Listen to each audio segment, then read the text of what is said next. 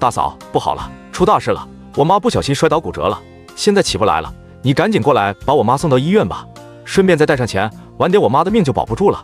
我说你是不是傻呀？你妈都那么严重了，还不赶紧送到医院去，在家躺着等死吗？大嫂，我也想把我妈送去医院啊，但是我和我爸身上没有钱，送过去也没有钱交费啊。她是你可是你婆婆，你要是对她不管不顾，我哥知道了此事，你就等着挨揍吧。你还真是会说话！你们没钱，难道我就有钱吗？我家里所有值钱的东西，在你哥的保护之下，已经全部被你妈拿去变卖了。你想要钱，你就找他去。我就算是有钱，我也不会给你们。小叔子无奈之下，就把亲妈送到医院去了。然后婆婆躺在病床上，给儿媳妇打去了电话。小米，我们现在都没有钱交住院费了，你如果再不过来交钱，我们可能就要被轰出去了。其实住院费也不多。也就十来万，你赶紧带着钱过来给我交费。你说什么？你还真是狮子大开口！你当我家是你的摇钱树还是提款机呀？你也不想一想，以前你在我家拿走多少东西了，现在你竟然还想让我给你拿十来万？你没钱，你就在哪里挺着吧，我是不会去的，更不会拿钱给你交费。刘小米，你这个狠心的儿媳妇，你这是见死不救啊！亏我家掏心掏肺的对你好。你却说出这种大逆不道的话，我真是懒得跟你说废话。反正这个钱你必须给我拿过来。如果你敢耽误我的病情，我直接叫我儿子跟你离婚。我看你这个黄脸婆怎么办？我呸！我实话告诉你吧，你不要总是拿离婚来吓唬我，我不吃你这一套。其实我早就想和你儿子离婚了，就你这样的婆婆才会生出小凡这样的儿子，在没经过我的同意之下，居然偷偷把一百五十万拿给你们。你们还真的以为我不知道吗？现在你居然还有脸打电话找我拿钱，真是太不要脸了！你也不看看你们和小叔子的吃喝拉撒、穿金戴银，哪一样不是你儿子拿我的钱给你们买的？我也算是看出来了，不管你们花我多少钱，都不会念及我的好。你们一家就是一群白眼狼！我现在也不想跟你们讲这些废话了，你们尽快把那一百五十万还给我，否则的话，你们的麻烦就大了！哈哈。这还真是天大的笑话！钱已经都到我的手里了，哪里还有还回去的道理？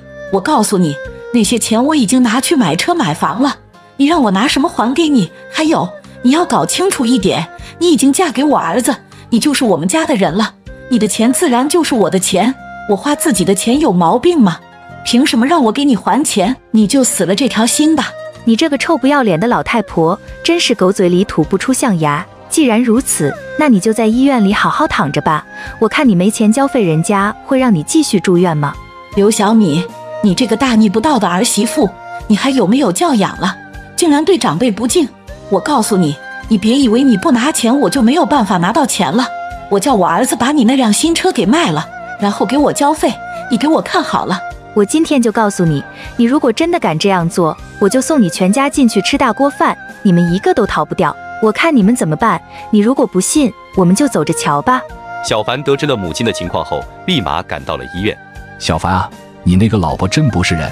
你妈都躺在医院了，我们叫她拿钱来医院交费，可是她死活的就是不肯来。不肯来就算了，她还说不会给钱，这不是明摆着见死不救吗？现在我们手上也没有钱，你妈住院费不能等啊！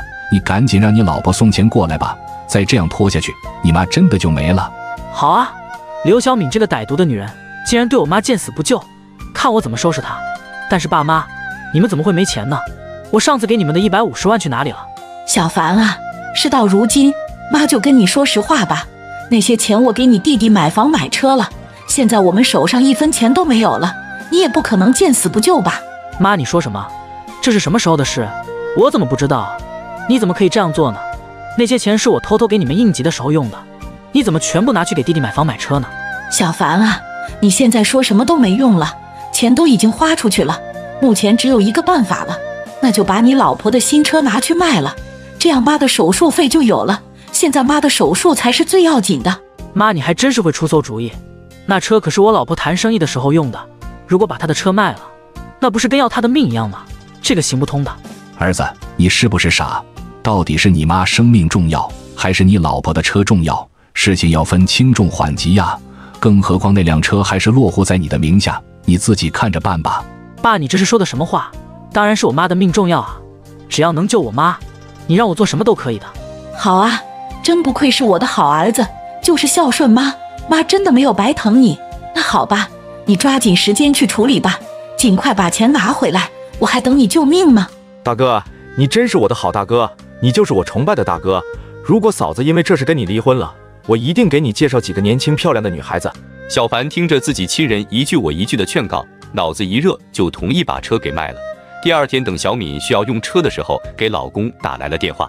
老公，你在哪里呢？你现在赶紧把车给我开回来，我现在要去见客户呢。老婆，我妈需要用钱做手术，你又不肯拿钱，最后没办法，我只能把车卖了，然后给我妈交了手术费。张小凡，你就是个混蛋，你怎么可以连个招呼都不打就把我的车卖了？还有咱们辛苦十几年才存的那一百五十万，你也是偷偷拿给他们了？你真的以为我什么都不知道吗？老婆，卖车那是因为要救我妈。那一百五十万，那是给我弟弟买婚房和婚车了。老婆，你先不要生气，我向你保证，以后这样的事不会发生了。张小凡，我告诉你吧，咱们再也没有以后了，我们离婚吧。像你这样的男人，我不要了。既然你心里只有你家人，那我也不必给你留情面了。明天我们就去办理离婚手续。老婆，你可千万不要冲动啊！虽然现在钱没了，但是我们还年轻，我们还可以赚回来的。如果我们离婚了，那我们可就真的回不去了。就算你不为自己考虑。也要为我们的孩子考虑啊！如果他在单亲家庭长大，这样对他一点都不公平的。我求求你不要和我离婚好吗？向你保证，我以后什么都听你的。张小凡，你给我闭嘴吧！你不要再猫哭耗子假慈悲了。孩子的事不用你管，你就给我等着净身出户吧。老婆，你也太狠了吧！你既然让我净身出户，那我以后的生活怎么过？我求求你了，你不要和我离婚好吗？我保证以后再也不会发生这样的事了。我什么都听你的。小敏不想再听小凡说废话，就直接挂断了电话。小凡就赶紧来找母亲商量对策。妈不好了，你快救救我吧！小敏要和我离婚，你说我该怎么办啊？要是离了婚，我可就一无所有了。儿子，你就放心吧，有妈在帮你撑腰呢。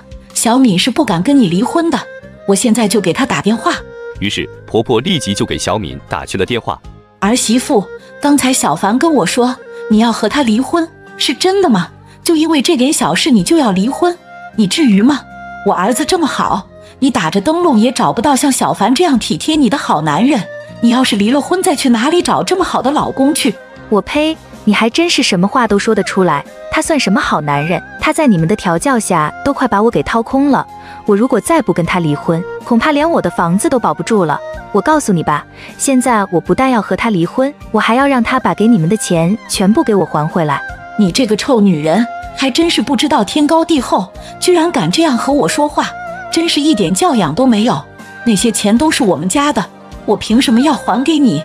我还告诉你，你想离婚就离婚，房子和商铺必须要分我儿子一半，你就得乖乖听我的，否则我让你吃不了兜着走。